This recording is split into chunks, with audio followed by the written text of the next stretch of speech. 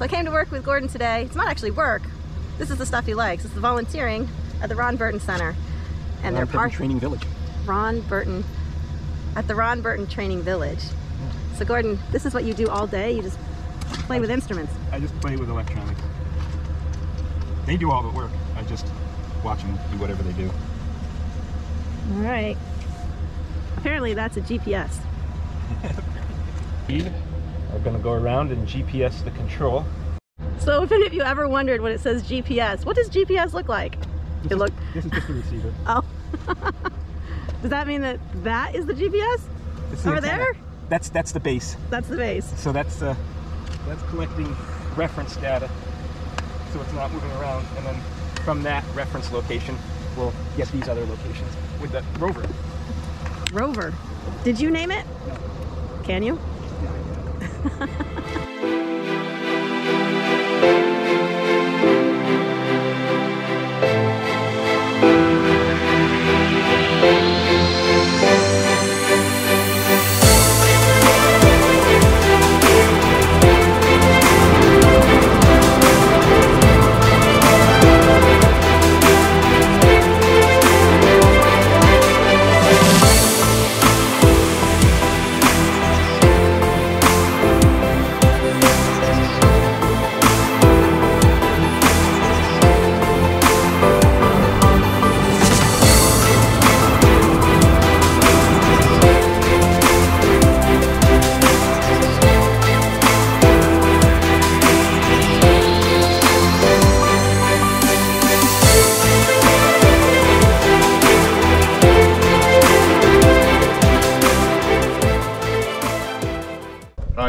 From Vanasse Hangen Brustlin.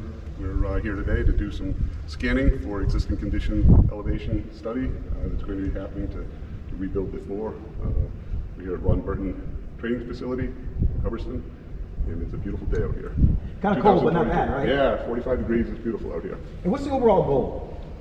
To capture the existing elevations of the concrete floor so that they can uh, conduct their study and evaluate the floor elevations to rebuild it at the proper elevation. Okay. I'm uh, Geomatics Director of uh, Massachusetts and New Hampshire offices. And the name of the company one more time? Vanasse Hangen Brustlin, and it's uh, based out of Watertown, uh, goes by VHB. And what is it exactly? It's uh, civil engineering, uh, environmental permitting, geomatics, uh, transportation company. It's uh, been in business since uh, the late 1970s. Oh, yeah, just one last thing. What are you going to do with the, the scanners? Like, what are those things out there that are set up? So those are control points for our scanning exercise, and that will be tied in uh, so that it is all meshed together when we uh, put the information together. And uh, right now, we're collecting GPS uh, values on our control points. Thank you. Appreciate it. Got it? So did you come here as a kid? Yeah, my father started it. My father created this place back in 1985. And so I was a little, I was part of the program just growing up. And now he passed away in 2003, so it's been 20 years. And so the family now sort of stepping in his shoes.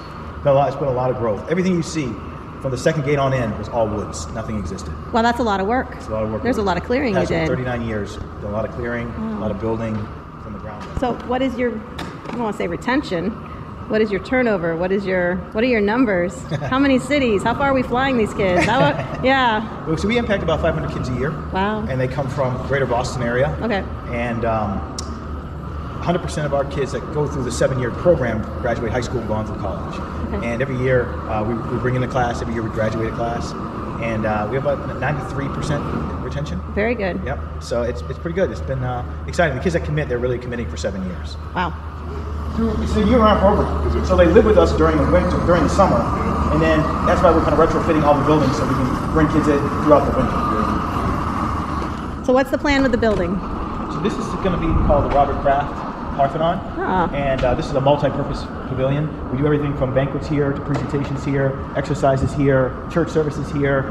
Um, it's a really a great facility that you can get out of the sun and have some still be outside. Yeah. Um, but it's, it's going to be used for many different reasons. A lot of barbecues, a lot of cookouts, a lot of family-oriented things. Okay. So we can't go anywhere without the floor. So we're trying to establish what the problems with the floor first. Yeah, I, we walked in and we saw the cracks, we saw the patches. They must have had like a green carpet type style in here for a while. Carpet squares for a long time. Yeah. Are you thinking to go back to that? No, we're gonna put down. a- Oh no, he says. Oh no. No, we're gonna put down like a sort of like a sports floor type of Oh. thing, like an oh. outdoor. The park. out the rubber like I know what you mean. Yep. That'll be sweet. Well, you got a lot ahead of you. Yep. Tell me about it. So VHB is here today to do a scan, and I've never seen a scan done. I'm assuming you've never seen a scan done. So together we will Yeah. see this scan and all that it's touted to be.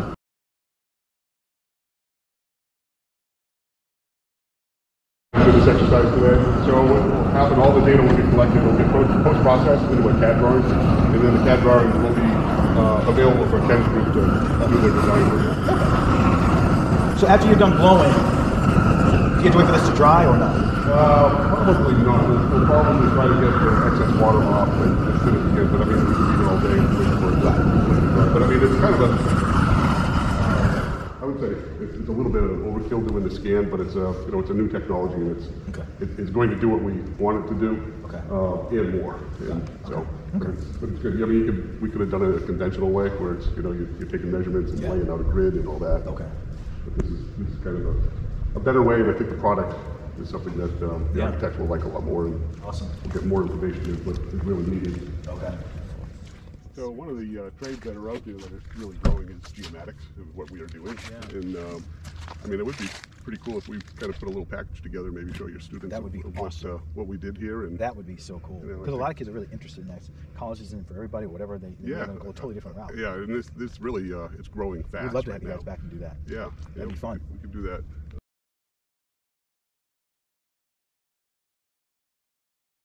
Right at, um, right across from Channel 38 there in Birmingham Parkway. And, uh, and now, it's- I mean, there was two offices at that point, and I don't know what we have now, about 30 offices and almost 2,000 people up and down the East Coast. That yeah. big? Yeah, That is impressive. it's, uh, it's a great company. It's really, uh, How long really you been with grown A long time since uh, I have to add it up. Oh. Like 1986.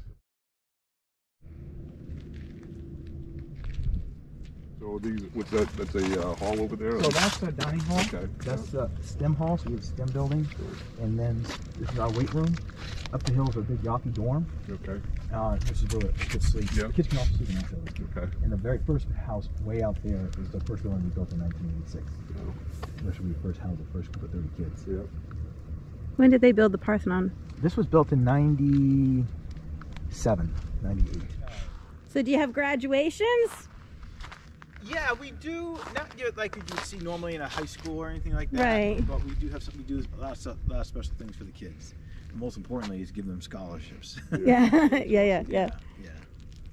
That's cool. Yeah, their- their lives are really changed dramatically. We wake up at 4:30 in the morning here, run seven miles a day, all the time. Yeah. And we're getting ready, getting ready, getting them ready for real life Yeah. experiences. Oh, that's fantastic. Overcoming adversity, Yeah. uh, how to how to maintain our, our four pillars are love, peace, patience, humility. We're trying to get them to capture those virtues in every area of their lives, Yeah.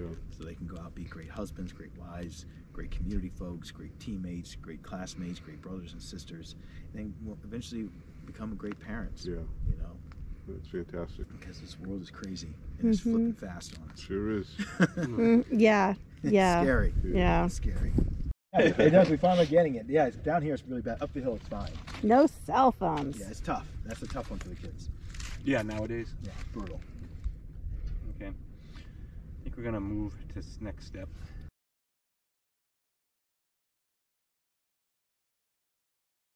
Yeah. Trying to find the right land. He wanted it to be just far enough away from the city, Yeah. but close enough to the city. Right. And he wanted to create uh, a village, so it had to be enough land to do what he wanted to do. Yeah. And um, there's a lake that we own too, so that's part of the ambiance of the whole thing. And uh, but he, he searched for a long time, Yeah. long time, trying to find the right one. I bet it was all woods. Everything was his. Everything. Not one thing. Not one road. Not one building. Nothing. So were you involved with a lot of the initial start of this? I was so young. I was only ten. Yeah. So I didn't know what he was doing. I, I really, we, no one really understood it until much later on. Yeah. Move He had, a, he had a vision. God gave him a vision fantastic. of really trying to live out Dr. King's dream and really bring every type of kid in America here to this place, teach them how to love one another, Yeah. how to work together, how to train together, but be respectful and kind. At the same time, work hard because anything worth anything in life is going to require a lot of work and hard sacrifice. And so um, it, this was sort of his vision, and it's really grown. People really took to it. Yeah. He, had, he had to use his entire life savings when he first started. Is that right? The bank wouldn't give him a loan. Ah. He said, "Ron, don't do this. You're giving all your money away." And my dad said, "This is something I have to do." Yeah, And wow. um, he really took a huge leap of faith.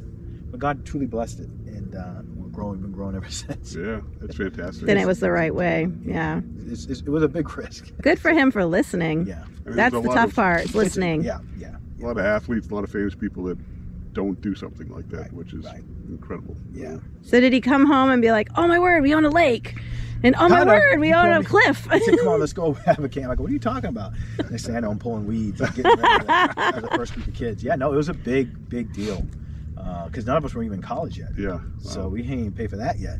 so fortunately, we all got scholarships. But um, yeah, it was it was a big risk. Yeah. Big risk. Yeah. You know, especially in the '80s. He Yeah. actually took a group of boys for a couple weeks, and he actually took a group of girls too. Yeah. So he was every, he was even impacting young women back then. He had he was a way ahead of his time. Yeah. He really was, and uh, he knew that girls deserve the same amount of opportunities the Right. boys do, and um, he just was doing things that was just out of the, out of the ordinary at Yeah. the time, Amazing. and convincing kids to wake up at 4:30 on Sunday morning. It's, it's not for playing ping pong. That goes on there. This is uh, this is a target that we're going to be referencing to. So let's go set a couple more of these up. Test my knowledge. Is that a hub That is a PK nail PK nail? or mag nail. Okay. And Gordon set that to reference a point on the property. Yes. Yes. Yep. That'll So- that'll have some coordinates on it with an elevation, Cool. as well as those everywhere we have a setup. You scored. Nicest day to be out of the office. Uh, that's why I picked it. It's a fantastic day out. It's beautiful. Even the snow that was on the ground has already melted on the other side of those bushes. This is quite the device. We need anything else moved out of the way. Uh, we'll close those doors before we start the scan. We'll move this stuff so it's not visible to the scan. It's doing both ways at the same time. Right. You know, so it's doing. So, Right. It's going this way. so is this device the scanner? This It is is. the. This is the scanner. the scanner. Oh, Terrestrial scanner. is terre- it's yeah. terrestrial. Yeah, meaning land. Okay, good thought. Because we have mobile, so you can hook it onto a vehicle. Drive up and down the Oh, highway. that's pretty cool. That one costs a lot more money. I bet it does. Does it come with more padding or wind resistance? It gets mounted onto a vehicle, and, and it's a, it's a really highly stabilized setup. Costs Yeah. about seven hundred and fifty thousand dollars. Have you guys used it yet? Uh, yeah, the director of our reality capture, Bruce, Yes. has used it in Vermont. Oh, nice. Yeah. And it worked out. Did what it said it was going to do. It- Great, uh, great uh, precision and fantastic data with it. Cool. And you're on the highway for a very limited amount of time. Oh, nice. That's So all we gotta do is stay out of the line we're just gonna, of the. Uh, so the image comes right up. Right, we'll have to come up here. oh, look at that! Look at that! And it's doing backwards and forwards at the same time. Wow. So it's you know doing a 360 That's degree. pretty You just end up with a dead spot directly underneath you. underneath. Yeah, which is why the case is underneath. This is actually a pretty quick scan. A lot of the ones we've been doing, because it's further distances, was um, you know That's- five minutes scan, three minutes scan. Wow. I mean, you guys were just. Oh. there it is. That's it. Oh. Oh.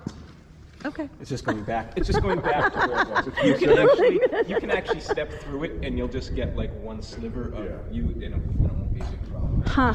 If you stand there, it'll scan you, and you'll see a person. Well, don't do that. Keep moving. That right there, where do we think that is? Is that that? Uh, let's dark- see. These are the two pillars probably closest. It's probably right here. Oh, picture. There's that piece over there. The wind picked up. That's drying it up for you. Oh yeah. So oh, I think it is this and that wet spot right here. Is Oh, that triangle big one, right yeah. there? That's that little triangle there. And then we should see these little tiles that you can zoom in. On that, it looks like, is it that beam that we're seeing? Yeah, so this beam right here is that beam there. Because you can see how these two columns look closer? Yeah. Well, that column and that column's closer, that one's further away. So that middle column is the corner column right out there. Alright. You know? Cool. So, all right, so now I do that, so I hit the.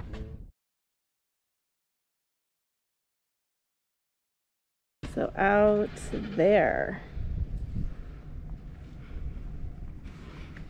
And that's over by the GPS Okay, now I should be able to. over there. And then there's another one right there. So this is the back side of it.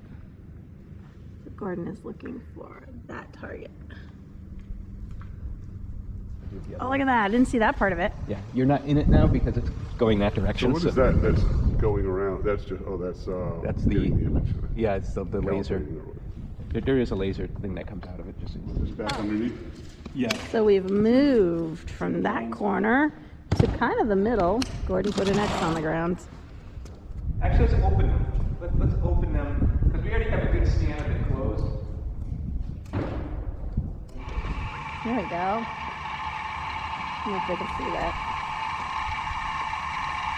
That's really filling in. How long's it been going? Almost done. There's not much to see on this side. Yeah, so we just scan the interior there. Not cool.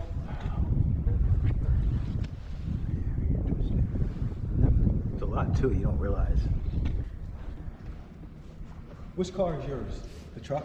Yes. Uh, there's some thank you stuff for you guys. Oh my goodness. Thank you. Uh, All right, Gordon's going to move that target to behind us.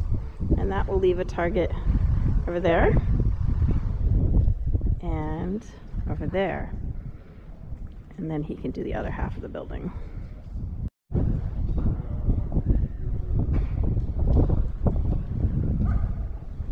Oh,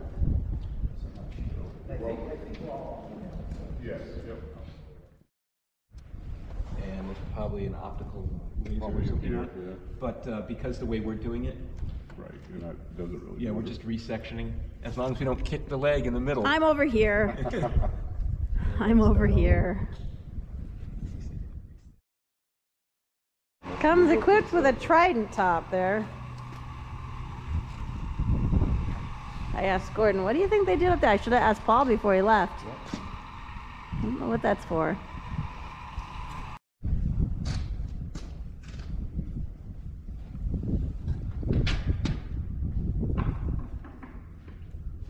Gonna run some levels with Boss Man. Dry. That's a fancy pen.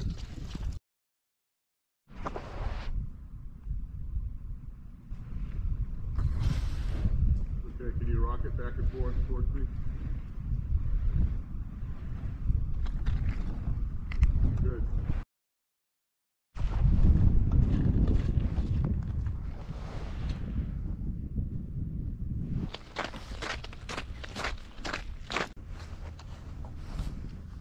Yeah.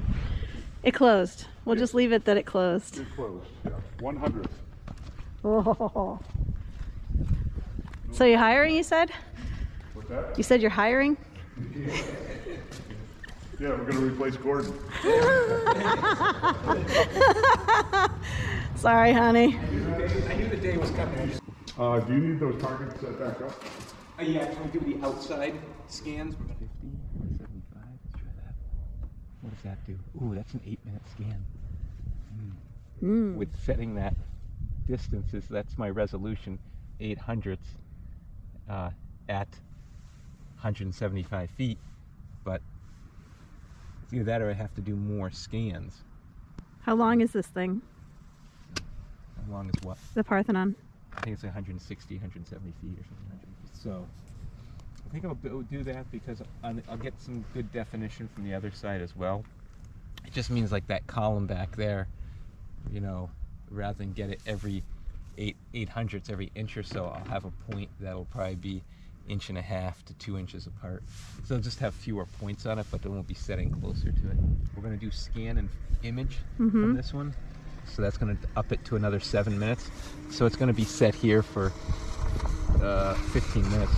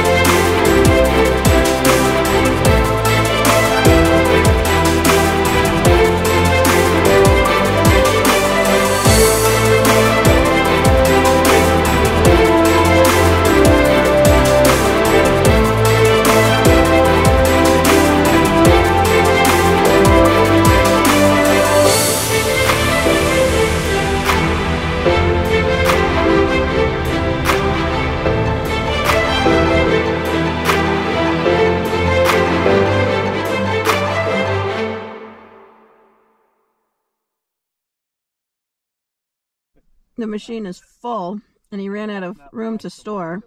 And we have two more shots to do. Sorry, two more scans to do. You're, you're more trusting than I am. Uh, I know every project we've worked on, and they're all re- registered and already on the backed up on the network, so we're good. yeah. Keep all set. All right. Thank you. Bye. Okay, bye. I just spent the day with Gordon and his boss, Glenn, and what an opportunity here at the Ron Burton Training Village. This was amazing. Met Paul Burton, gave us some swag bags. I mean, beautiful weather, great cause. If you haven't heard of them, check out their website. I'll put it down below. Gordon and I have participated in many volunteer opportunities, but this by far takes the cake. Who can say they've worked on a Parthenon in the US? Here in Hubbardston, Mass. We can. Bad news. We gotta do it all over again. Seriously? Are you serious? No. Well, it's not happening tonight. You're funny. Thoughts? Another day done all in one job.